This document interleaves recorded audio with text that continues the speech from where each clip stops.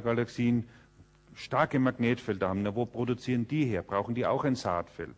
Und die Antwort könnte sein, ja, äh, das müsste dann auch schon im Urknall existiert haben. Und was ich hier zeige, ist eine, eine äh, Weltkarte sozusagen der Mikrowellenhintergrundstrahlung vom Satelliten WMAP. Äh, was Sie hier geplottet sehen, ist nichts anderes als Temperatur, und zwar scheinbare Temperatur entlang des Sichtstrahls, während die Amplitude hier farbkodiert ist, aber die ist nur in Größenordnung von 10 hoch minus 6, also ein Millionstel Grad ist hier der, der gesamte Bereich. Und letztendlich werden diese Temperaturfluktuationen im frühen Universum, und dort ist, wo diese Strahlung, äh, eben diese äh, 2,7 Kelvin Hintergrundstrahlung herkommt, als Druckschwankungen interpretiert. Und alle kosmologischen Modelle haben nichts anderes zu tun, als diese Druckschwankungen, also diese Karte äh, äh, zu interpretieren. Und ein paar böse Sonnenphysiker haben äh, mit das daneben geplottet und haben gesagt, ja, das schaut ja vollkommen gleich aus, nicht? Wenn ich da diese, diesen Teil vergleiche mit diesem Teil, das ist nicht dieses rausgezoomt, das ist die Sonne. Das ist die 5-Minuten-Oszillation der Sonnenoberfläche. Schwarz und Weiß ist hier nichts anderes als Geschwindigkeit. Schwarz geht's rein, Weiß geht's raus. Ähm, und äh, wenn es hier eine Analogie gibt, ich bin jetzt der Advocatus Diaboli nicht, äh, wenn es hier eine Ähnlichkeit gibt, dann haben wir ein Problem, weil bei der Sonne verstehen wir nicht, warum diese Druckschwankungen mit dem Magnetfeld der Sonne korrelieren. Das ist hier gezeigt. Äh, hier ist die Zeit, 20 Jahre aufgetragen. Hier sind aus färbige Linien verschiedenste Magnetfeld- oder Aktivitätsindikatoren der Sonne aufgeplottet. Das sind alles Messungen. Hier oben die, der Gesamtstrahlungsoutput der Sonne. Ähm, äh, was weiß ich, hier die Calcium-K-Linie-Index, der 10 cm äh, Fluss, also im 10 cm Radiobereich. Oder hier der Sonnenflecken-Index, äh, also die Anzahl der Sonnenflecken. Das ist der, der Sonnenfleckenzyklus, äh, der Aktivitätszyklus schön. Und das hier ist jetzt nichts anderes als die 5-Minuten-Oszillation, so wie es aufgelöst vorher gezeigt hatte. Null bedeutet nichts anderes als 5 Minuten. Und jetzt damit diese Aktivitätsvariation variiert auch diese Frequenz. Und wir wissen nicht, warum das mit der Aktivitätsindikatoren äh, äh, hier äh, korreliert. Wenn so eine Frequenz sich ändert, dann heißt das, nachdem das nichts anderes als stehende Schwingungen sind, die wir auf der Oberfläche der Sonne äh, in einem diskreten Spektrum sehen, äh, dann heißt es nichts anderes, dass, der, dass die Struktur der Sonne unterhalb sich geändert haben muss. Und zwar periodisch, eben mit diesen äh, Indikatoren. Das ist noch so weit, so gut. Aber wenn wir äh, bedenken, dass wir also unsere gesamten kosmologischen Weltbilder auf der Interpretation dieser WMAP-Karten basieren, dann sollten wir vielleicht auch vorsichtig werden, weil diese Interpretation kein kosmisches Magnetfeld inkludiert.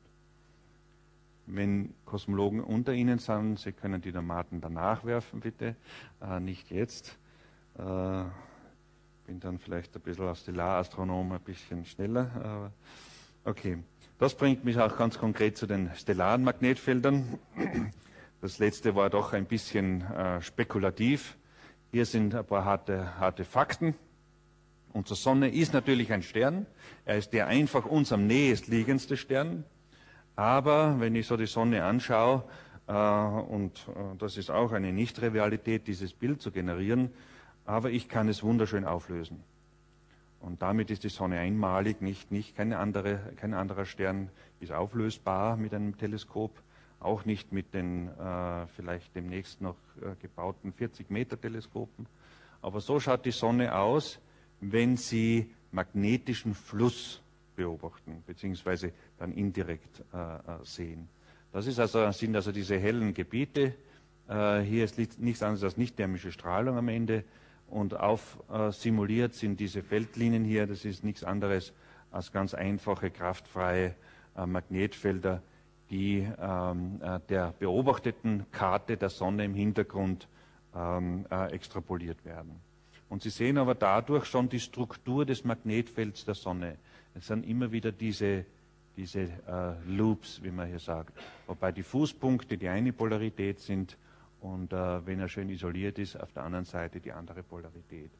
Und nachdem die Elektronen gern von Plus nach Minus und umgekehrt äh, gehen, ähm, beschleunigen sie von einer, von einem Ende zum anderen und können dann Schockfronten verursachen, bevor sie, bevor sie hier vom dünnen wieder ins dichte Medium kommen und alle möglichen äh, wilden Phänomene verursachen. Ähm, das ist nur kurz das Prinzip, das ist der Sonnenrand, ähm, also die Sonne durchgeschnitten sozusagen, dann der Sonnenrand.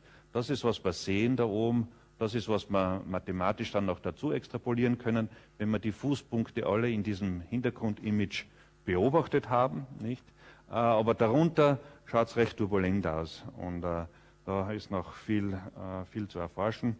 Aber letztendlich das Dilemma von stellaren Magnetfeldern zeigt sich hier oben. Hier können wir nicht reinschauen, wir können nur da oben hinschauen.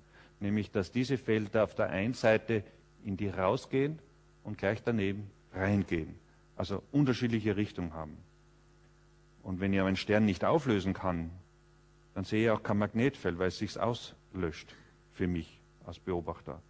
Ähm, eine Seite geht es hin, auf der andere geht es weg. Am Ende kommt kein magnetischer Fluss zu mir. Ähm, das ist natürlich ein Problem. Ähm, da werde ich einmal dezent drüber hüpfen. Ähm, Nichtsdestotrotz möchte ich Ihnen äh, dieses Bild zeigen. Das ist aus einer synoptischen Sonnenkarte. Man beobachtet die Sonne nicht nur zum Beispiel im weißen Licht oder in diversen Spektralfarben äh, oder, oder sogar Spektrallinien. Man beobachtet die Sonne auch im polarisierten Licht. Und zwar kontinuierlich, wenn sie über den Horizont ist. Das geht über die ganze Welt, da gibt es ganze Netzwerke. Und dieses polarisierte Licht äh, ist ganz, ganz sensitiv auf die Geometrie dieser Magnetfelder.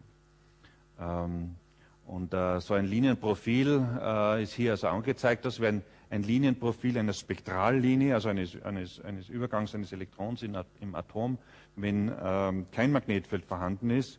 Wenn, das, äh, äh, wenn dieser Übergang polarisiert wird, dann kommt es zu, einen, ähm, zu einer Aufspaltung äh, in links und rechts zirkular polarisiert, beziehungsweise in lineare Polarisation in verschiedensten Ebenen. Soll heißen, wenn Sie nur die Ebene, wo das Licht so schwingt, nicht jetzt von Ihnen oder, oder von Ihnen hier gesehen, nicht, dann sehen Sie was. Wenn Sie jetzt den Kopf neigen, dann in einen gewissen Winkel zu dem, dann sehen Sie gar nichts. Ähm, und die kommt aber verschiedenste Ebenen daher und das müssen Sie ausfiltern. Und das entspricht der Geometrie des Magnetfelds. Weil das Photon eben mit dem Magnetfeld über den Zeemann-Effekt, wie man sagt, also interagiert. Und wenn Sie jetzt genau schauen, äh, sind diese Linienprofile auf der Sonnenoberfläche je nachdem, ob das Feld rauskommt oder runtergeht, einmal linkssymmetrisch, einmal rechtssymmetrisch. Und wenn man das vielleicht ein bisschen besser darstellt mit einer Farbkodierung oder nur mehr sozusagen positive und negative Polarität darstellt, was ja rot und blau ist, dann, und, sie, und alles, was Sie von Ihren Sternen sehen, ist die Summe dieses, dann würde sich rot und blau immer auscanceln oder annähernd auscanceln, sodass Sie, wenn Sie mit einem großen Teleskop, einem Spektrographen hingehen und, und den Stern messen möchten, gar nichts sehen, obwohl das Ding enorm magnetisch aktiv ist. Also was Sie brauchen, um stellare Magnetfelder zu messen, ist, Sie müssen den Stern, die Sternscheibchen auflösen. Das können Sie direkt nicht, aber es gibt eben indirekte Methoden, clevere Methoden, die man sich im Kämmerlein ausdenkt ähm, und dann anwendet. Und so eine Methode heißt äh, Dopplertomographie, ganz ähnlich der medizinischen Computertomographie des Hirnkastels, äh, aber hier ist der Stern das Hirnkastel sozusagen und, und der, der, der, äh, der Apparat herum ist mein Teleskop und mein Spektrograph. So ein Spektrum sehen Sie hier, Wellenlänge, das ist ein Bild eines sogenannten Echelle-Spektrums. Die dunklen Linien sind diese einzelnen Spektrallinien, die ich vorher schon erwähnt hatte. Und so eine Spektrallinie einfach nur rausgenommen. Das passiert bei jeder hier und nur eine rausgenommen und in einer kleinen Simulation gezeigt, schaut so aus. Und der Stern, wenn er an einem Fleck ein Magnetfeld hat hier, äh, würde er dann sozusagen dunkler erscheinen, weil ihm dort das, die Kontinuumstrahlung fehlt. Und in einer Spektrallinie würde das diesen Hügel er, erzeugen. Ähm, und wenn der Stern rotiert, wandert dieser Hügel auch schön mit dem Doppler-Effekt äh, mit. Ähm, und wenn Sie den Stern sozusagen über die ganze Rotation beobachten, äh, die Sonne hat 27 Tage Rotationsperiode, wenn Sie den 27 Tage kontinuierlich beobachten, ähm, dann können Sie aus diesen Spektren die Oberfläche rekonstruieren mit einem mathematischen Verfahren. Äh, das funktioniert. Ähm, die Daten möchte ich nur mal so hinwerfen. So schauen die Daten wirklich aus, die Sie am Teleskop bekommen. Äh, hier ist das erste Spektrum, dann hat der Stern ein bisschen rotiert, äh, dann haben Sie das zweite aufgenommen, dann hat er wieder ein bisschen rotiert, dann das dritte aufgenommen und das haben Sie 64 Mal zusammengebracht bei einer Rotationsperiode von Stern von etwa 1,4 Tagen. Das ist das Sigma Corona Borealis. Ähm, da haben Sie in dem Fall schon ziemlich viele äh, Nerven äh, abgelegt, weil wenn eine Wolke kommt und Sie dann nichts sehen, dann haben Sie da eine Lücke drin und Ihre ganze Rekonstruktion funktioniert nicht. Und dann dürfen Sie wieder einen Antrag schreiben, damit Sie nächstes Jahr wiederkommen dürfen. Wenn Sie denn das Geld kriegen, damit Sie hinfliegen können. Nicht? Astronomen bauen ihre Sternwarten immer irgendwo in die Botanik, nicht? Äh, in Hawaii oder in Chile und so irgendwo. In die Antarktis sogar mittlerweile. Okay, äh, hier sehen Sie das Canada-France-Hawaii-Teleskop mit einem hochaufgelösten Spektrographen, mit dem das möglich ist, und dem auch diese Messungen durchgeführt werden. Äh, und das ist jetzt das Bild aus den Daten, die Sie gerade vorher gesehen haben. Es ist ein Doppelsternsystem, zwei gleiche Sterne, zwei sonnenähnliche Sterne. Und das Lustige an dieser, äh, äh, diesem Resultat ist, dass beide Sterne eine helle Hemisphäre und eine dunkle Hemisphäre haben. Und zwar in die Richtung, wie sie sich um den gemeinsamen Schwerpunkt drehen. Ähm, und zwar so, dass eben die, die hinten nachhinkende Hemisphäre heißer ist als wie die davorliegende. Also wenn Sie durch den Nebel rasen, nicht äh, mit dem Auto oder was immer, dann haben Sie auch also wenn es vorne hell nicht und wenn es nach hinten schaut, ist es dunkel. Nicht? Äh, vor allem, wenn sie aufblendet haben. äh, hier ist es aber nicht so ein Effekt, aber es ist nur äh, schematisch zu sehen so. Die Magnetfelder werden hinten nachge, nachgezogen sozusagen. Und nachdem Magnetfelder nicht einzelne Feldlinien sind, wie wir uns das mathematisch so vorstellen, sondern ganze Flussröhren, da wird die Masse in diesen Flussröhren, also freie Elektronen, auch freie Protonen, hier zu den Enden strömen.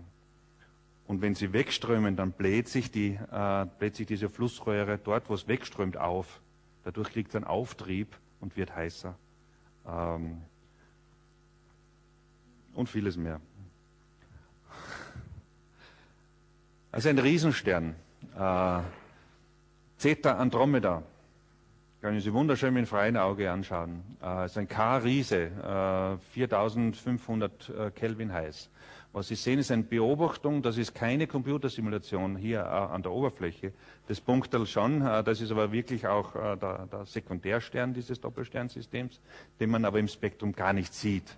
Und, und, bitte, das ist auch nur Show äh, hier im Hintergrund. äh, aber das ist tatsächlich Beobachtung. Farbe ist hier Temperatur. Schwarz ist kühl, weiß ist heiß. Äh, Bereich plus minus 500 äh, Kelvin. Und bemerken Sie zum Beispiel diese dunklen Flecken hier oder auch, wenn der Stern vorbeikommt, dass der den da irgendwie aufzuheizen scheint. Äh, nur das kann nicht sein, weil der ist viel zu massearm, als dass er den aufheizen kann. Er ist zwar etwas heiß, aber das würde der nie schaffen. Wir vermuten eher, dass hier eine Magnetfeldverbindung besteht zwischen den beiden Sternen und dass wieder entlang von Flussröhren hier Materie entweder abströmt oder zufließt. Äh, andere Überraschungen, ohne dass ich jetzt wirklich hier aufs Detail eingehe. Was Sie hier nur sehen, ist eine sogenannte Kreuzkorrelationskarte von zwei hintereinander aufgenommenen Dopplerkarten, die Sie vorher gesehen haben, zu zwei verschiedenen Zeitpunkten. Dann kreuzkorrelieren Sie diese Karte im Computer und wenn die vollkommen identisch sind, dann ist die Kreuzkorrelation immer null. Dann ist sie immer gleich so, wie Sie es hier sehen. Wenn die aber nicht äh, gleich sind, dann sehen Sie halt hier eine Verteilung. Äh, und zwar in dem Fall ist so, dass wenn die Korrelation sehr gut ist, dann ist es schwarz. Ah, Entschuldigung, wenn die, umgekehrt ist es weiß. Wenn die Korrelation äh, schlechter wird, wird es schwarz. Und was Sie dann dazu finden können, Sie sehen, also wenn, wenn die äh, Korrelation, wenn jetzt zwei gleiche Karten wären, dann haben Sie einfach hier eine, eine Gerade. Äh, das ist sozusagen die Verschiebung, äh, wie viel die, die zwei Karten, wenn Sie so eine Mercator-Projektion haben, wie viel müssen Sie die hin und her schieben, sodass sie genau übereinstimmen oder eben am besten übereinstimmen. Und auf diese Achse ist einfach nur die, die Breite auf der Kugel aufgetragen. Also Äquator ist 0 hier hier wäre der eine Pol oben, der andere Pol hier unten. Den sehen Sie allerdings nicht. Okay, aber was zeigt sich hier? Es zeigt sich, dass die äh, Verschiebung optimal wird, wenn ich jede einzelne Breite unterschiedlich verschiebe. Und in der Tat, genau diese Kurve, die hier gezeigt ist, ist das solare differenzielle Rotationssignal. Einfach von der Sonne übernommen. Die Punkte sind die Beobachtung von diesem Stern und die strichlierte Linie ist einfach nur ein Sinusquadrat Theta Fit, äh, so wie wir es bei der Sonne sehen. Und die Sonne rotiert am Äquator schneller wie an den Polen. Zwar mit einem Unterschied von etwa vier Tagen. Und dieser Stern macht genau das Umgekehrte. Der rotiert am Pol schneller. Warum, wissen wir wirklich nicht. Es gibt Varianten von Dynamo-Modellen, die das erlauben. Aber es ist nicht ganz äh, klar, zumindest nicht bei einem Riesenstern. Also Überraschungen sind noch da. Auch das ist eine Überraschung, obwohl es auf den ersten Blick nicht so ausschaut. Aber die Größenskalen sind richtig hier. Ähm, das ist ein, ein, Sternfleck in der Größenordnung und 20 Mal so groß äh, wie die Sonne selbst. Und Sie sehen, ich habe da ein Bild der Sonne reinkopiert in der aktivsten Zeit, nämlich da im April äh, 2003 herum, äh, wo sogar ein Sonnenfleck zu sehen ist. Dieser Sternfleck ist 20.000 Mal größer wie der größte je auf der Sonne gesehene Fleck. Und wenn es ein Magnetfeld ist, und äh, auf der Sonne können wir es beobachten, dass Sonnenflecken Magnetfelder sind, dann müsste dieser Fleck ein riesiges Loch im Stern sein eigentlich. Und zwar in seiner Atmosphäre äh, oder, oder Konvektionszone. Äh, wenn also diese äh, Vorstellung der solaren Analogie überhaupt gilt hier. Der Fleck ist allerdings so groß, dass diese Asymmetrie, Sie können sich so einen Apfel vorstellen, in dem reingebissen wird, äh, den Stern sogar aus dem hydrostatischen Gleichgewicht bringen würde. Nachdem das nicht der Fall ist, sonst würde er nicht mehr existieren, ähm, ist die Sache wahrscheinlich komplexer. Man vermutet, dass das also nicht ein ähm, homogenes Magnetfeld ist, sondern dass das einzelne Magnetfelder äh, sind, also einzelne Flecken sind. Ähm, aber es sind noch Überraschungen da. Auch bei ganz, ganz jungen Sternen. Hier ist ein Stern, der gerade, der gerade im Entstehen ist. Oder sagen wir mal so, der gerade kurz entstanden ist, vor kurzem entstanden ist. Der hat noch eine Scheibe herum. Ähm, Sie sehen hier eine Dopplerkarte so eines Sternes und dahinter äh, eine Simulation mit einem magnetostatischen Akkretionsmodell. Das sind die Magnetfeldlinie und das ist hier die Dichte. Also Sie sehen hier den innersten Rand der Scheibe und die Materie stürzt sozusagen äh, entlang der Magnetfeldlinien auf den Stern. Und was wir hier beobachten konnten, sind die Impaktregionen von dieser Akkretion, ähm, die also entlang des, des Scheibenmagnetfelds hier stattfindet. Eigentlich aber, wenn ich so das lange rede und, und verschiedenste äh, Sterne aus, Zoo, aus, dem Zoo des Universums äh, hier zeige, eigentlich möchten wir sonnenähnliche Sterne oder Sonnenzwillinge am besten äh, so untersuchen. Äh, vielleicht auch dann mit Planetensystemen, wenn wir sie denn, denn kennen. Nicht? Eigentlich möchten wir das Sonne, äh, äh, in Richtung einer zweiten Sonne machen. Das ist ein Stern, ein G25-Stern, also wie unsere Sonne, nur dass sie nicht äh, äh, 25, 27 Tage rotiert, sondern 2,7 Tage im Alter von etwa 100 Millionen Jahre anstelle von 4,5 Milliarden Jahre. Also eine ganz, ganz junge Sonne. Äh, ist auch der hellste dieser, dieser Sterne. Und da können wir dieses Doppler-Imaging anwenden. Hier ist wieder Farbe, Temperatur. Aber eigentlich möchten wir solche Sterne im polarisierten Licht ansehen im polarisierten Licht spektroskopieren, um damit die Geometrie des Magnetfelds, so wie bei der Sonne, herauszurechnen. Äh, auf die Folie möchte ich Ihnen nicht eingehen. Äh, ich zeige sie aber trotzdem, weil ich einfach, wenn wir entwickeln einen Code, der all das tun soll, und, und, wir haben eine erste Anwendung, die ich Ihnen gleich zeige, aber ich bin so stolz auf unsere Abkürzung. Äh, MLPCA, MLPCDI Code ist das magische Wort. Und das ist nichts anderes als ein Multiline Principal Component Analysis Multilayer Perceptrons äh, Zeeman Doppler Imaging Code. Das ist ein, ein Code, der auf einem neuronalen Netzwerk basiert, der aber auch in der Lage ist, Spektren zu koaddieren, ohne dass er äh, gewisse Annahmen dabei macht. Und hier ist sogar ein Resultat. Das ist noch nicht einmal in Druck, äh, ist also noch frisch, kann also vollkommen falsch sein, äh, aber nichtsdestotrotz ein schönes Bild. Äh, das ist ein aktiver Stern, II Pegasi, ist ein Unterriese, ein K2-Unterriese, hat eine Rotationsperiode von etwa vier Tagen und die Spektren über diese vier Tage wurden am Nordical Optical Telescope in La Palma aufgenommen und zwar im polarisierten Licht aber in dem Fall leider nur im äh, zirkular polarisierten Licht. Stokes V, wie das da schön heißt, ist nichts anderes als die Differenz zweier Spektrallinien, einmal im linkszirkular polarisierten, einmal im rechtszirkular polarisierten und dann durchs Kontinuum durchdividiert. Aber es zeigt uns hier in Farbe die Magnetfeldstärke und wiederum mit der Pfeillänge oder, oder der Ausrichtung die Geometrie. Und wir können da ein kleines Filmmal machen, das sehen Sie aber natürlich auch nicht viel mehr. Sie sehen letztendlich hier magnetischen Fluss. Ähm, es gibt hier Zonen, wo also sehr viel rauskommt, wieder Zonen, wo weniger rauskommt. Was Sie aber sofort sehen, erstens, es sind recht starke Felder, die aber sehr lokal sind. Aber in der Ausdehnung viel, viel größer wie das, was wir auf der Sonne äh, sehen. Äh, wo wir eigentlich hinwollen, ist das, äh, das ist, Sie sehen jetzt noch einmal eine Stokes-Karte hier, äh, also ein Stokes-V-Profil und sozusagen die Oberflächenverteilung des Magnetfelds. Das nimmt man jetzt als Randbedingung her, um so ein kräftefreies Feld, ein Potentialfeld dazu zu äh, extrapolieren sozusagen. Man kommt aber drauf, dass eigentlich hier, wie in diesem Fall, äh, der Stern Abedoradus, ähm, 90 Prozent der Feldlinien offen sind. Die schließen sich also nicht am Stern selbst, sondern irgendwo in der Umgebung. Und nur die wenigsten Linien sind geschlossen. Äh, Sie sehen da ein paar komische durch die Gegend äh, wandern. Was das aber für den Stern heißt, offene Feldlinien, respektive der Oberfläche zumindest, äh, können Drehimpuls abtransportieren, können geladene Teilchen eben im Magnetfeld beschleunigen und dann abführen, Masse abführen. Ähm, also der Massenverlust ist in dem Fall auch Drehimpulsverlust. Und das erklärt auch, warum Sterne, sobald sie die Hauptreihe erreicht haben, abgebremst werden. Äh, einen Catch gibt es immer. Das ist leider so. Äh, die sind alle nur im Stokes V-Licht gemacht, äh, diese Karten. Und das ist eine Simulation, die wir vor kurzem gemacht haben. Das ist ein Computerstern, nichts anderes. Aber was Sie hier drauf sehen, sind nicht nur zwei Flecken, einfach Temperaturunterschiede, sondern das sind beobachtete Magnetogramme, und zwar sogenannte Vektormagnetogramme mit einem Sonnenvektormagnetograph aufgenommen von einem Sonnenfleck.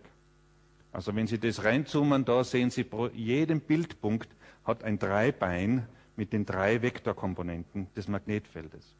Und jetzt können Sie wieder simulieren, wie Ihre über die Scheibe integrierte Linienprofile ausschauen.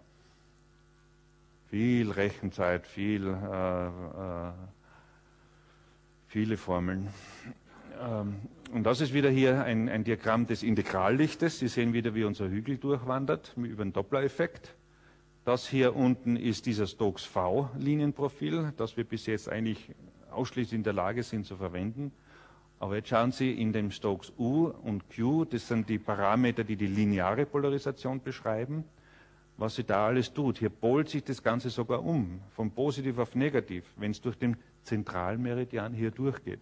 All diese Informationen schweißen wir schlicht und einfach weg, beziehungsweise wir können kein Instrument oder wir haben noch kein Instrument zur Verfügung, das uns diese lineare, lineare Polarisation beobachten lässt. Ähm, 0,1 Prozent des Sonnenlichtes sind zirkular polarisiert und ein Zehntel davon ist linear polarisiert. Wenn Sie die Sonne beobachten mit so einer spektralen Auflösung, die Sie hier brauchen, äh, haben Sie zu wenig Photonen. Wenn Sie einen Stern beobachten, geht es einfach nicht mehr. Also, was tun wir? Neue Instrumente bauen, nicht? Äh, und da ist wieder meine Connection zur Wirtschaft. Es äh, ist nicht so, dass man den Auftrag an die Wirtschaft vergeben könnte, nicht so auf die Art, jetzt baut man das einmal. Ähm, er verzweifelt dann mit dem Wissenschaftler natürlich. Aber es wird äh, äh, derzeit das wohl weltgrößte Teleskop äh, gerade äh, in Betrieb genommen. Und zwar ist es das weltgrößte Teleskop auf einer einzelnen Montierung. Das ist das Large Binocular Telescope im Süden von Arizona. Und Deutschland ist 25-prozentiger Partner bei diesem äh, Unterfangen. Und das sind hier zwei äh, Spiegeln auf einer Montierung. Jeder Spiegel hat 8,4 Meter Durchmesser.